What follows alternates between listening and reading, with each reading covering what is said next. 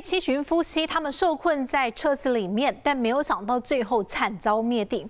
原来当时他们是去眉山做生意，在回程的时候遇难。在今天家属回到现场进行指认，没有办法接受这起悲剧。他们的儿子泣不成声地说：“平常都要爸爸妈妈下雨天不要出门做生意，怎么也没有想到这一次居然在回家必经的道路上面发生了意外，而且他们距离家只剩下三公里。”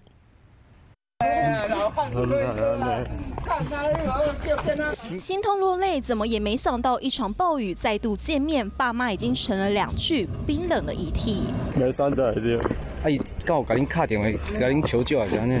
虽然是必经道路，是吧？对，必经道路，然后一家等你，一个走，哦，第。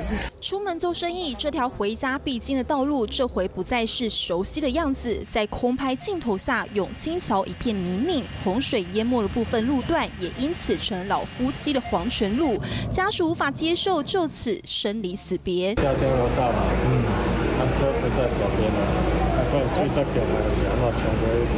只是怎么会来不及逃生？十号暴雨成灾，赤兰溪、巴掌溪暴涨一堤，大水扑向邻近的道路。而这对夫妻工作回程，就在永清桥往台八二线中和交流道的方向，低洼路段遇上大水，水如同猛兽一般快速袭来。年纪大约七十岁的夫妻疑似来不及逃，隔天一早被发现时已经没了生命迹象。阿姨是到底对啊？